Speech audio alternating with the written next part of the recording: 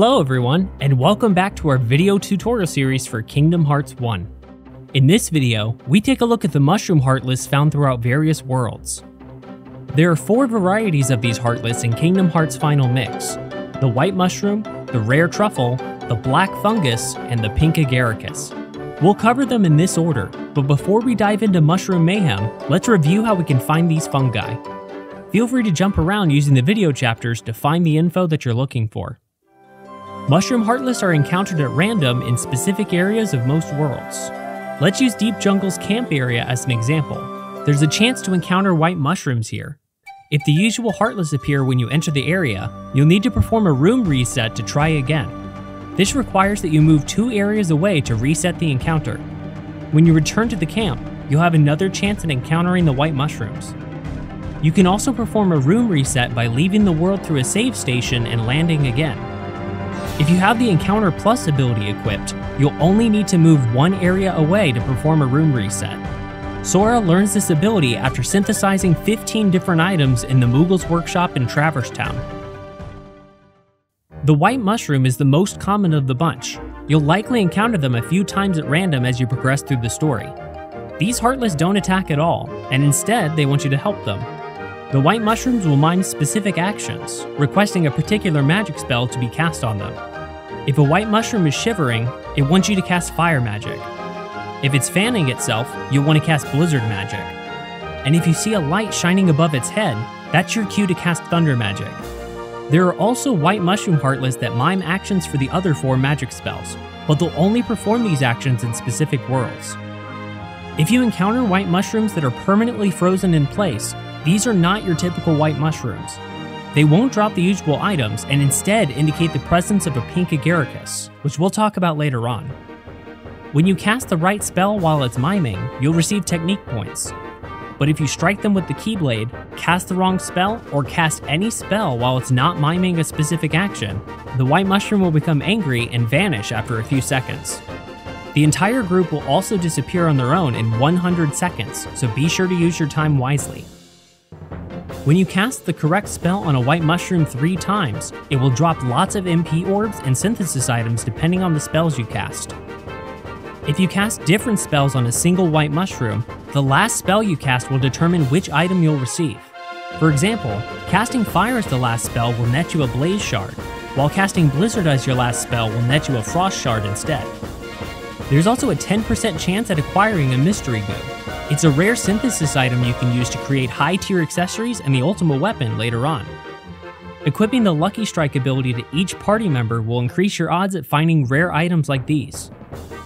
If you cast the same spell three times on a single white mushroom, you'll have a 10% chance of receiving a gem synthesis item corresponding to the type of spell you cast, and double the chance of finding a mystery goo.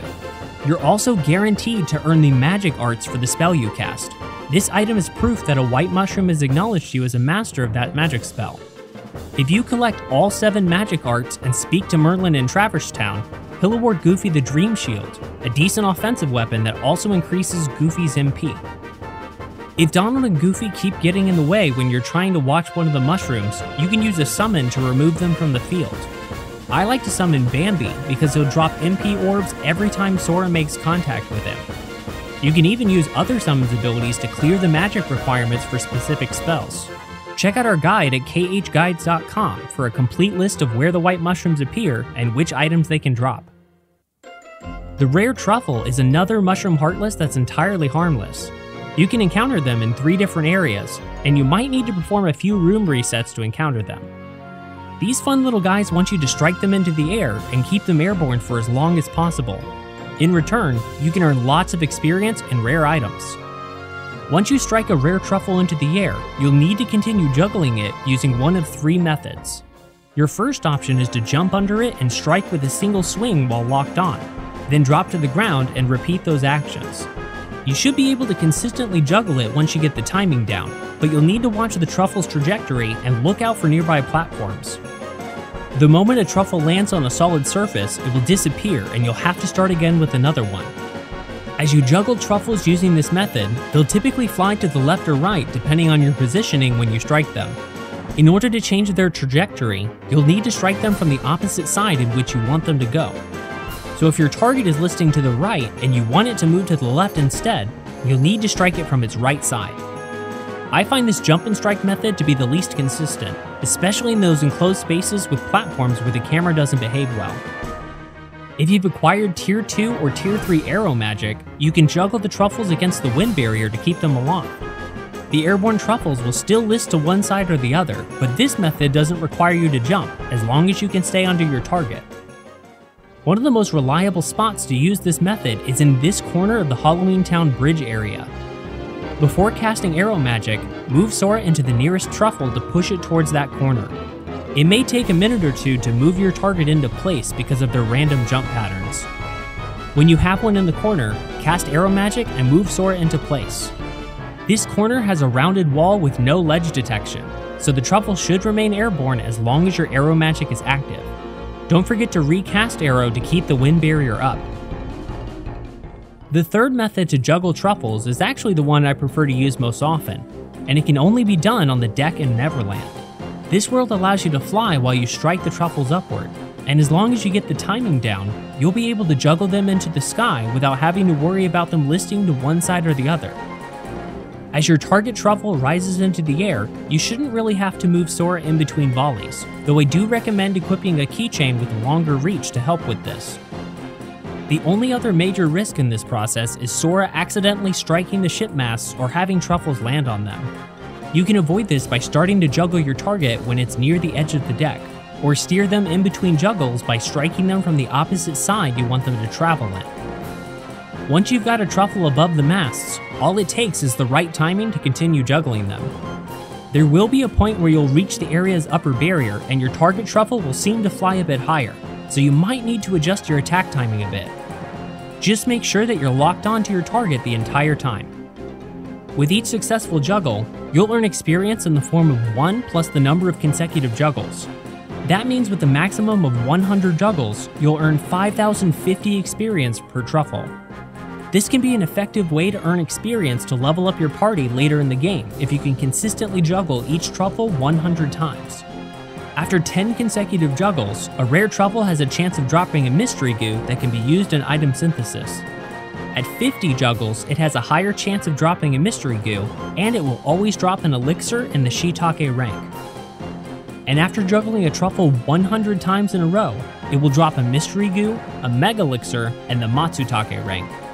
The Shiitake rank and Matsutake rank items are proof that you managed to bop a rare truffle into the air 50 and 100 times, respectively. They don't serve any other purpose, but you can sell them for a little money. Next up is the Black Fungus, which appears in Agrabah's Bazaar, Halloween Town's Moonlight Hill, and for a brief period in Hollow Bastion's dungeon. This mushroom menace is the only aggressive variety, attacking with poisonous gas that drains your HP when you get too close. They have super high defense, and they can become invincible for an extended period of time. If you want to earn the money and rare items they can drop, you'll need to defeat them in a very specific way. The Black Fungus will only drop items when defeated with a critical hit. To increase your chances of landing these hits, equip all of Sora's learned Critical Plus abilities, as well as Slapshot, Hurricane Blast, and Combo Master. Be sure to unequip any Combo Plus or Air Combo Plus abilities that extend your combo. And equip the Wishing Star to Sora. This keychain guarantees that you'll land a critical hit with every combo finisher. You can strike a Black Fungus with ground combos to continually stagger them if you're quick, but this becomes a lot more difficult when more than one of them is nearby. I would only recommend using this method if you can single out one fungus at a time, which is a little easier to do at Moonlight Hill. You can also pick up and throw the pumpkins in this area, which count as a critical hit if it makes contact. A more reliable close range method is to jump and use Hurricane Blast to land critical hits in the air. This will help you avoid being staggered mid-combo from their poison gas attacks, and with Combo Master equipped, you'll only have to worry about making contact with your air combo finisher, which should be Hurricane Blast most of the time. This airborne method works well in Agrabah's Bazaar, if you find that your party members are interfering with your combos, you can summon Bambi to remove them from combat. And speaking of summons, the Simba summon can be used to easily defeat Black Fungus with critical hits, as long as you can charge up his Proud Roar attack at least 5 levels. Each time you see Simba and the Keyblade pulse with light, that means the attack's power level has increased by 1. Releasing the charge after 3 levels should stun all black fungus in the area, allowing you to charge it again without having to worry about incoming attacks. A fully charged Proud Roar should defeat all black fungus with a critical hit. This is a great way to farm for money and dropped items. The Trinity Limit ability can be used in the same way, but due to its long cast time, you might miss a fungus if it becomes invincible. As long as it's defeated with a critical hit, the black fungus has a chance at dropping a mystery goo and 50 money.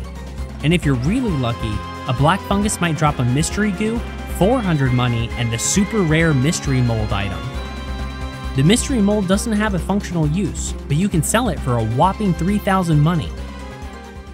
And finally, we have the pink Agaricus, which can be found in just two areas the undersea cave in Atlantica and the treehouse in Deep Jungle. We'll focus mainly on the encounter in the treehouse. This groovy guy can drop a rare synthesis item and a super rare accessory if you cast stop and land as many hits on him as possible before your stop magic runs out. But before we can do that, we need to get it to appear in the first place. You'll know when the pink agaricus is nearby when you enter the area and the only heartless are white mushrooms that are frozen in place. Cast stop magic on these mushrooms to have them release MP orbs and disappear. There will be three of these mushrooms in all, and their positions are randomly selected from 11 possible locations.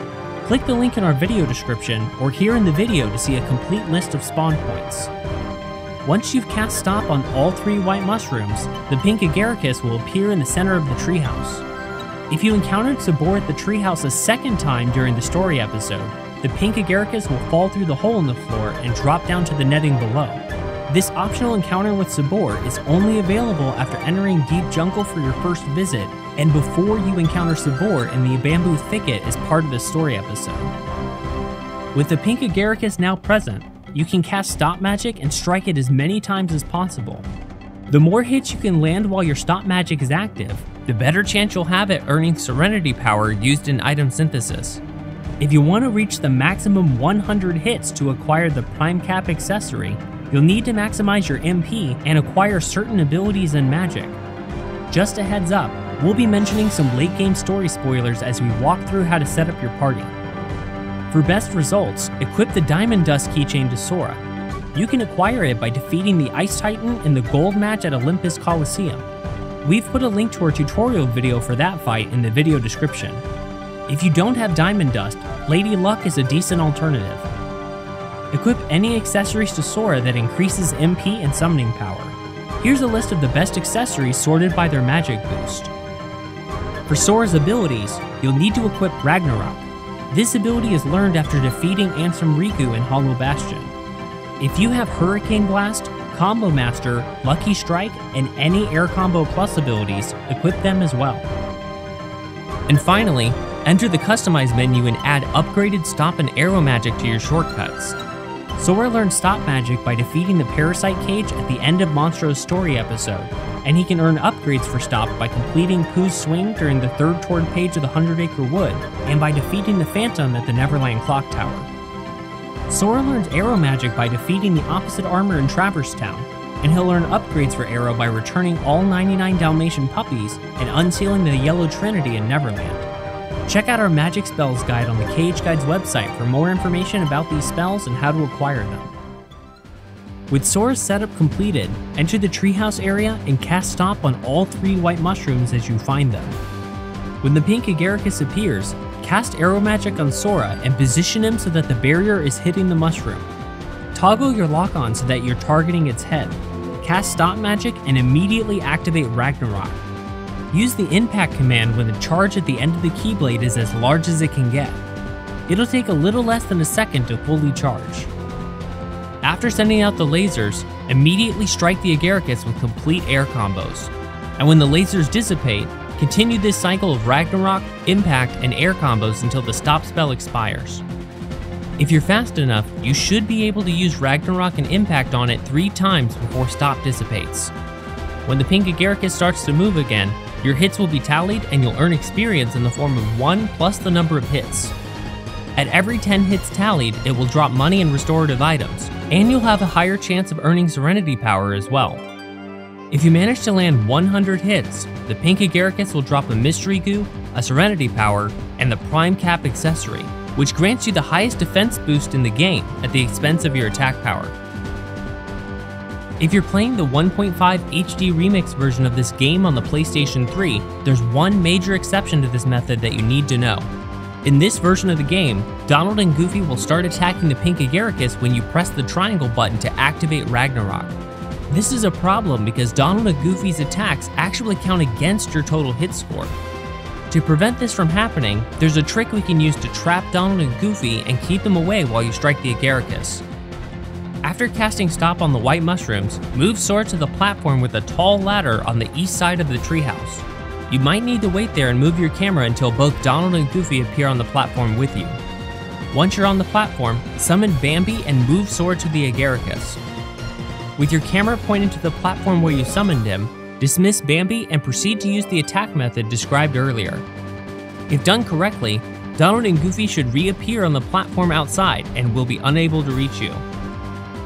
If you're only interested in acquiring Serenity power for item synthesis, it's possible to summon the Pink Agaricus in Atlantica's Undersea Cave and use Aero and relentless attacks to reach about 40 hits. It's a lower chance at receiving the item, but it's pretty consistent and doesn't require as much precision as the Deep Jungle method. And that caps off our fun guide to Mushroom Heartless in Kingdom Hearts Final Mix. I hope these tips and tricks don't leave mushroom for error or give you any truffle. If you enjoyed the video, give it a like and let us know how you became a Mushroom Master in the comments section. Big thanks to our guiding lights and shining beacons on Patreon for their support. You can join us on Patreon to receive lots of community perks, including early access to future videos. You can also find me live streaming on Twitch as I continue work on new tutorials and walkthroughs. And as always, you can find the best guides and walkthroughs to the Kingdom Hearts series at khguides.com. Thanks for watching, we'll see you next time.